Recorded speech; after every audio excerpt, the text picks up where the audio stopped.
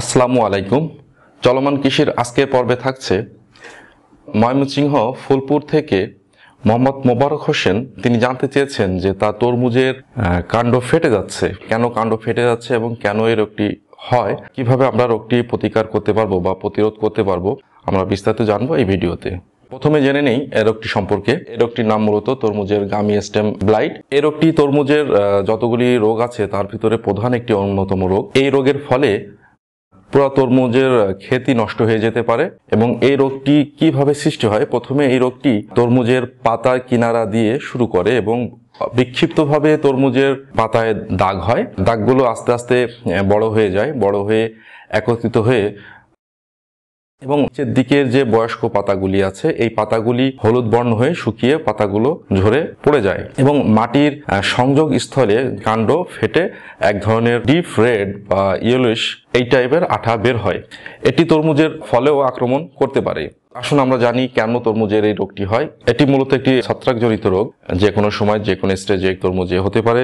অতিরিক্ত বৃষ্টি এবং যদি জমি অতিরিক্ত ভেজা থাকে, তাহলে এই রোগটি আপনার জমিতে আক্রমণ করতে পারে। এবং সবচেয়ে আসার কথা হলো এটি ছত্রাকনাশক ব্যবহার করে এই রোগটি দমন করা সম্ভব। তো এখন জানি আমরা যে এই রোগটি কীভাবে আমরা এই রোগের ব্যবস্থাপনা করব বা রোগটিকে দমন করতে পারব। অবশ্যই তরমুজের জমিতে যখন ভোরবেলা আবহাওয়া ঠান্ডা থাকবে বা শীতল থাকবে, সেই সময় আমাদেরকে সেচটা প্রদান করতে হবে এবং জাত ভেদে কোনো কোনো তরমুজের জাতে বেশ ঝোপালো হয়, সেই ক্ষেত্রে অবশ্যই আপনাদেরকে রোপণের আগে জেনে নিতে হবে যে এই জাতটি আসলে জমিতে কেমন ঝোপালো হয়। সেই হিসাব করে আপনাদেরকে তরমুজের রোপণের সময় দূরত্বটা নির্ধারণ করে দিতে হবে। সঠিক দূরত্বে তরমুজ গাছটি রোপণ করতে হবে। এবং রোপণের আগে অবশ্যই আপনার যে জাতটি আপনি রোপণ করতে চাচ্ছেন, সেই জাতটি এই রোগ প্রতিরোধী কিনা বা পূর্বে যারা এই জাতটি রোপণ করেছিল, এই জাতে এই ধরনের কোনো রোগ এসেছিল কিনা, সেই বিষয়ে অবশ্যই আপনি আগে থেকে জেনে নিতে হবে। যদি এই ধরনের কোনো জাত থাকে, অবশ্যই সেই জাতটি আপনারা পরিহার করে যাবেন। ফসলের অবশিষ্ট অংশ জমি থেকে সরিয়ে ফেলা বা পুড়িয়ে ফেলতে হবে। ফসলের অবশিষ্ট অংশের কারণে পরবর্তীতে এই রোগটি আপনার জমিতে আবার চলে আসতে পারে। এই রোগটি দমন করার জন্য কয়েকটি রাসায়নিক ব্যবস্থাপনা রয়েছে, যেমন টেবুকোনাজল গ্রুপ, কার্বেন্ডাজিম গ্রুপ, এই গ্রুপের ছত্রাকনাশকগুলি দুই গ্রাম প্রতি লিটার হারে আপনাকে স্প্রে করতে হবে।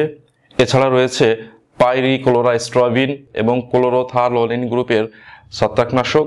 এটি দুই মিলি প্রতি স্প্রে করতে হবে। প্রতি সাত দিন অন্তর অন্তর দুই থেকে তিনবার রোগটি না সারা পর্যন্ত স্প্রে করতে হবে। ভিডিওটি কেমন লাগল সেটা আমাদেরকে জানাবেন এবং পরবর্তীতে কোন বিষয়ে ভিডিও দেখতে চান সেটা কমেন্টস করে জানান। ভিডিওটি ভালো লাগলে বা কারও উপকার হবে মনে করলে ভিডিওটি শেয়ার করুন। ফলো করতে পারেন আমাদের কৃষি জীবন ইউটিউব চ্যানেলের ফেসবুক পেজে ধন্যবাদ।